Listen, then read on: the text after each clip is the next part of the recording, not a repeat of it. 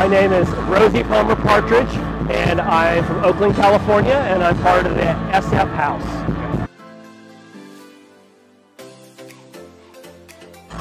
I've been black veil since September. Okay, so new nun. Yes. What was your novice project?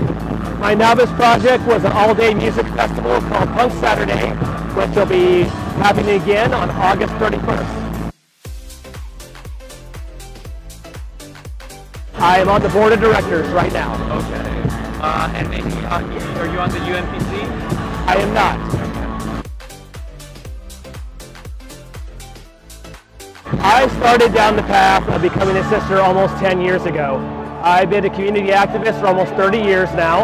Uh, I started with a lot of anarchist groups, uh, and I'm the longest running LGBTQ member of 924 Gilman, which is an, the oldest all volunteer run music venue in the world.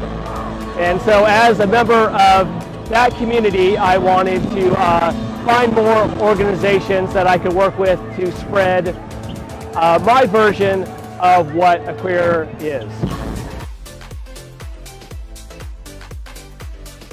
So, uh, well, I wanted something that made people laugh, and I'm also part of a group called the Partridge Family Temple, and fun is the law.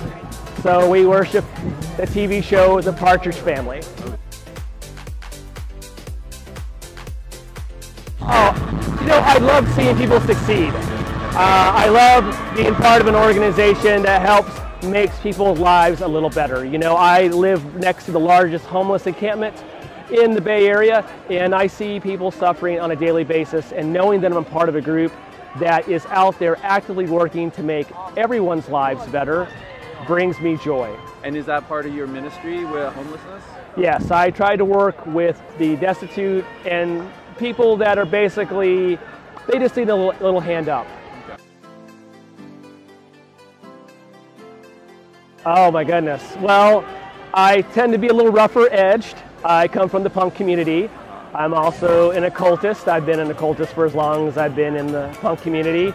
And so uh, I've been told I'm a little scarier than most of the sisters in my house. Uh, no, spiritual definitely uh, uh, encompasses it. I uh, part of the Theosophical Society. I also run several esoteric organizations nationally and internationally.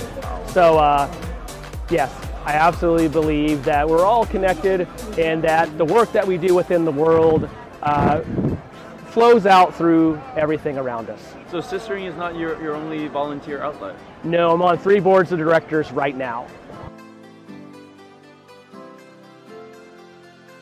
Uh, treat it like it's your job.